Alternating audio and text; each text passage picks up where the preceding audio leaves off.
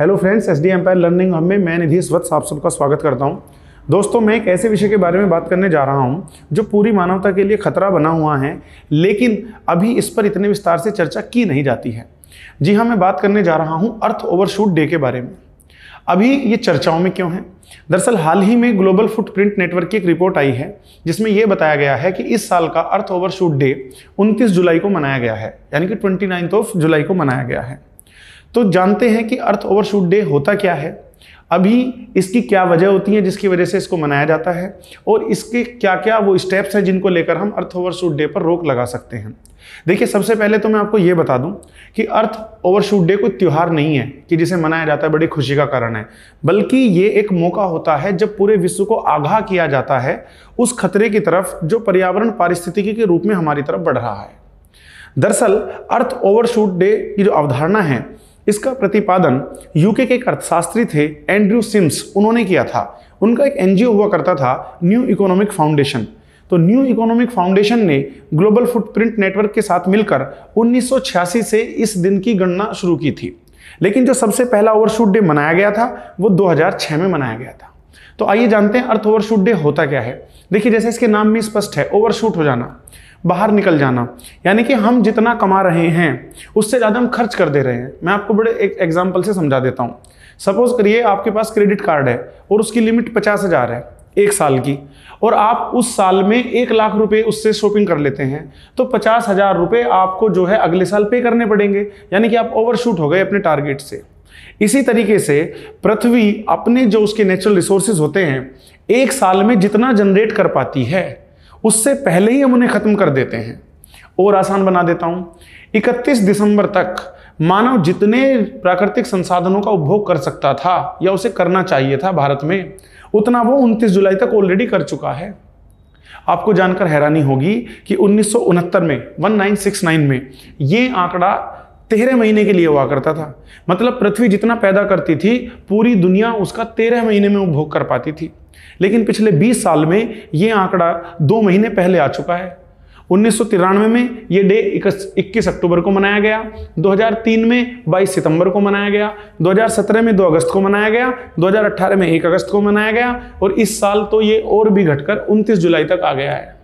दरअसल इससे फ़र्क क्या पड़ता है? इससे फ़र्क ये पड़ता है कि पृथ्वी ने हमारे लिए जो भी प्राकृतिक संसाधन दिए हैं, जिसमें जल है, वन है, कार्बन, पानी जितनी भी सारी चीज़ें हैं, इनको रिजनरेट करने में पृथ्वी को कुछ टाइम लगता है।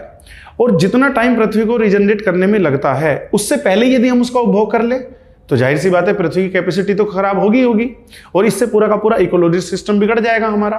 अब आइए जानते हैं इसकी वजह क्या क्या है। दरअसल इसकी वजह बड़ी आसान सी है। एक, हद से ज़्यादा मछली मारना, ये इसकी वजह में शामिल है। जंगलों की सबसे ज़्यादा या अधिक से अधिक कटाई करना, ये भी इसकी वजह में शामिल है। खनिजों का अत्यधिक दोहन करना ये भी इसकी वजह में शामिल है। और कार्बन डाइऑक्साइड का उत्सर्जन जो बढ़ता जा रहा है, ये भी इसकी एक वजह है। अब ऐसा हो क्यों रहा है? देखिए, यहाँ पर दो चीज़ें हैं। एक तरफ़ है जनसंख्या, जो धीरे धीरे धीरे धीरे बढ़ती जा रही है। एक अनुमान ये है कि भारत की आबादी 2050 तक बढ़कर एक अरब अस्सी करोड़ हो जाएगी। इतनी बड़ी जनसंख्या के लिए विकास भी ज़रूरी है। अब विकास और संसाधनों के बीच संतुलन किस तरीके से स्थापित किया जाए, यही अर्थ ओवरशूट डे की संकल्पना है। दरअसल इसको कहते हैं सस्टेनेबल विकास, यानी कि सतत विकास। जब आप उतना इस्तेमाल करें जितना आपकी ज़रूरतें हैं और उतना छोड़ दें जो आपकी भावी जनरेशन के लिए, आने वाली पीढ़ी के लिए उपयोगी हो। ऐसा ना हो कि आप ही सब कुछ खत्म कर दें, इतना दोहन करने लगे। तो अब इसके क्या क्या उपाय हो सकते हैं? देखिए, इसको रोकने के बड़े सिंपल तरीके हैं। सबसे पहले हमें संसाधनों के उपभोग में कमी लानी होगी, और वो कमी तब होगी जब हमारी जनसंख्या कम होगी। यदि हम जनसंख्या को 50 परसेंट तक घटा भी देते हैं तो भी हम अर्थ ओवरशूट डे में केवल 19 या 20 दिन का इजाफा कर पाएँगे। दूसरा, खाने की बर्बादी हमें कम करनी होगी।